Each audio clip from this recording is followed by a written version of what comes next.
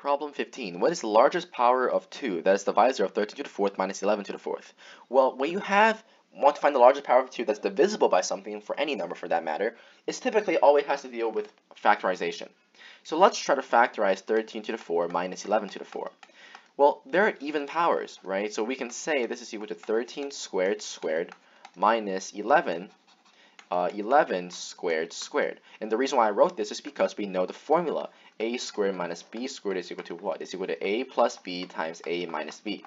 This is a must know for any exam. So this is equal to what? That's equal to 13 squared plus 11 squared times 13 squared minus 11 squared. But then we can apply it again for this quantity. So that's equal to what? That's equal to 13 squared plus 11 squared, um, right, times 13 minus 11, and then times 13 plus 11.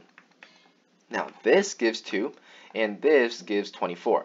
Now 24, as we all know, is equal to 4 times 6. That's 2 squared times 2 times 3. So this becomes what? 2 to the third times 3. So we can factor this ultimately into 2 to the 3 times 2 times what? Well, there has to be something that comes out from, from this, right? What is 13 squared? That's 169. What is 11 squared? That's 121. So that's 0, um, and then 8, 9, 2, 290. 290 is equal to 2 times 145, and 145 is divisible by 5, so that's 2 times 5 times 2, 9. So we only have one factor of 2 contributed from 290. So what is this? Well, that is 2 to the 5th. So what is the largest power of 2? Well, what is 2 to the 5th?